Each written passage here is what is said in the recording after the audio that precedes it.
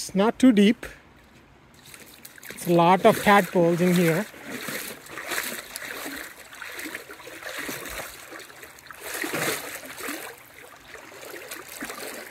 Wow.